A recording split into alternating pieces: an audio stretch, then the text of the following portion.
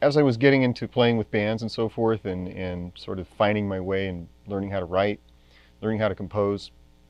as well as play, be a better guitarist, um, uh, you know, the, the 70s was a, a, really pivotal stage, I think, in rock and roll music. And I was very fortunate to be there and be a part of that. Uh, a great time in rock and roll music when bands like Cream and, and uh, you know, uh, Zeppelin obviously emerged and changed everything.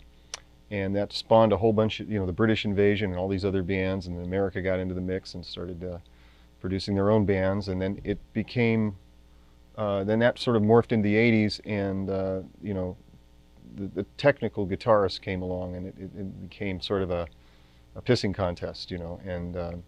and that's where I kind of, you know, we Dokken evolved, and we had some success, and we were kind of in the middle of that, and I felt very, uh, you know,